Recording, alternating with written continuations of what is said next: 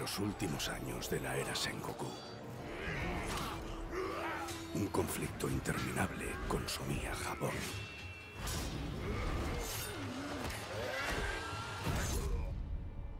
From Software lo ha vuelto a hacer. Parece que esta empresa solo sabe hacer juegazos, uno de los más esperados de 2019 sin duda alguna. Sekiro se ha estrenado y lo ha conseguido, mantener a millones de personas enganchadas a la pantalla jugando o viendo a otros sufrir, un juego al que será difícil buscar puntos negativos y con muchas cosas buenas que destacar. Hoy hablaremos de Sekiro Shadows Die Twice. Recordad que podéis suscribiros al canal de Instant Gaming para enteraros de los análisis de las últimas novedades y la cita de cada viernes con el resumen semanal de noticias. No olvidéis dejar un comentario con vuestra opinión o feedback sobre el canal. Además podéis activar la campanita para recibir notificaciones con todo lo que subimos al canal.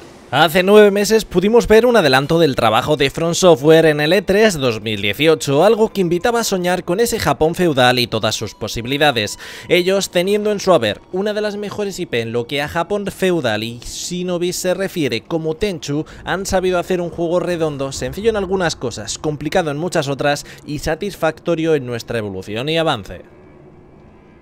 Está clara la inspiración en la saga Tenchu y ellos mismos lo afirmaron. Se alejarían bastante de la jugabilidad vista en la saga Dark Souls o Bloodborne, algo mucho más ágil y fluido, con una verticalidad que asombra y sobre todo con un componente de sigilo que quizás es opcional, pero será prácticamente obligatorio si no queréis llevaros sorpresas. Nuestro protagonista tiene su katana y nuestro artilugio shinobi en forma de brazo izquierdo.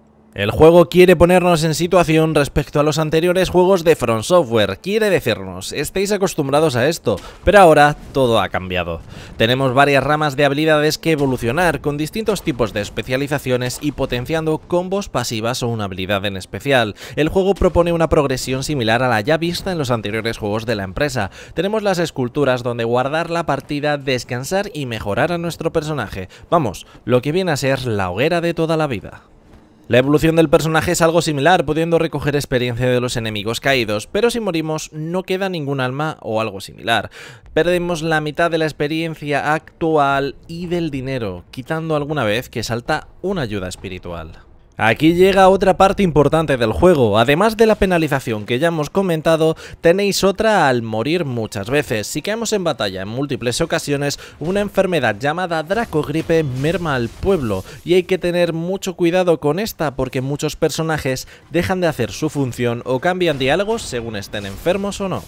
En este juego tendremos el bloqueo con katana y el desvío, que es lo más importante de todo, teniendo en cuenta que aquí no tenemos aguante y tenemos equilibrio haciéndonos imposible bloquear siempre y forzándonos a jugar a desviar, añadiéndole un extra de dificultad y de espectacularidad a las peleas.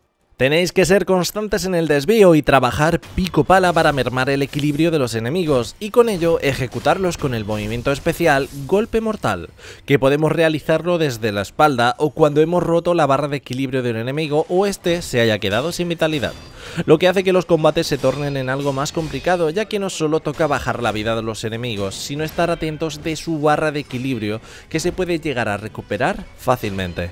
Como podéis observar, al final son muchas novedades en el ámbito jugable, aunque realmente si sois jugadores de Souls o Bloodborne y demás, notaréis una diferencia abrumadora entre los títulos, haciendo que os sintáis unos novatos y disfrutando como la primera vez en vuestro primer juego del tipo Souls. Termina siendo una sensación única el jugar a este juego, y sí, puede ser demasiado difícil en algunos momentos, pero llega a ser muy gratificante los momentos que consigues algo, y pocos juegos lo consiguen de esta manera. No entraremos en detalles de las herramientas Shinobi para que os llevéis la sorpresa, pero tendréis una para cada tipo de jugador o sobre todo para tipos de situaciones diferentes contando con debilidades y puntos fuertes. Y una de las cosas que más diferencia a este juego de otros es su verticalidad. El gancho y nuestros saltos hacen las delicias a la hora de movernos por el mapeado, que sin duda guarda muchos secretos y trucos para los más habilidosos. La forma de aprovechar todo el escenario y poder desenvolverte con él hace que realmente la inmersión sea increíble. Aquí llega uno de los puntos negativos que hemos podido ver en el gameplay, la cámara, esa asignatura que lleva arrastrando From Software tantas entregas pero no termina de estar del todo pulida, debido al fijado de enemigos y la agilidad de estos. Más de un momento nos hemos encontrado con la cámara dando vueltas alrededor de las habitaciones, perdiendo el objetivo, una pena que en algunos momentos esto ensombrezca el maravilloso gameplay.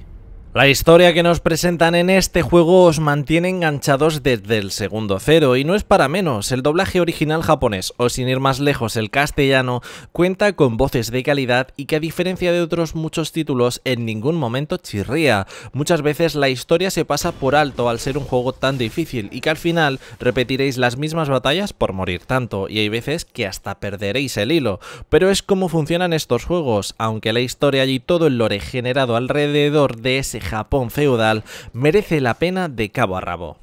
Visualmente el juego es precioso, ya sabemos de qué es capaz From Software y aquí lo vuelven a demostrar una vez más, que aunque no lleguen al tener el nivel de detalles que otros juegos ofrecen en texturas, en lo demás son una de las mejores empresas. Los paisajes, la distribución de los mapas, el diseño de los enemigos y de los personajes, todo está cuidado al milímetro. Viéndose tan bien podría estar mal optimizado, pero al contrario, un juego que en la mayoría de ordenadores gama media-baja está funcionando a 60 FPS, un trabajo formidable desde la empresa nipona. La banda sonora no se queda atrás tampoco, estamos acostumbrados a que esta empresa mime cada pieza y sobre todo a ponerlas en momentos exactos dándole mucha más actitud a sus juegos. Es una banda sonora que se disfruta a cada momento que aparece y le añade una epicidad como pocas empresas saben hacer. Y seguro que cuando os bloqueéis en algún enemigo y suene una música, os acordaréis de ella para siempre.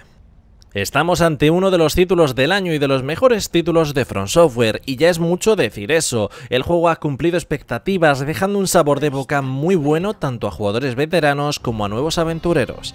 A un servidor sobre todo le terminó pareciendo un nuevo Tenchu, algo que mi yo de hace 21 años agradece y mucho.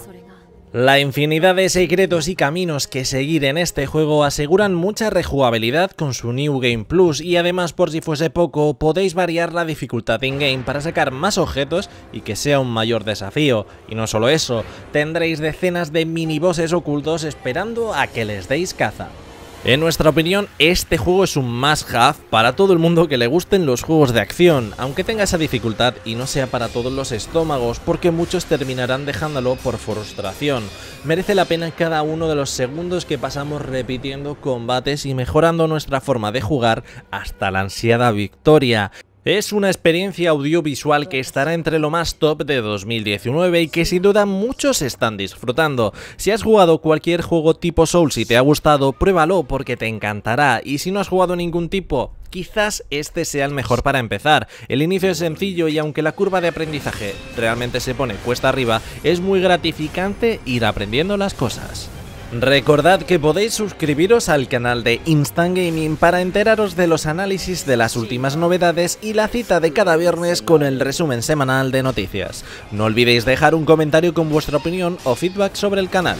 Además podéis activar la campanita para recibir notificaciones con todo lo que subimos al canal.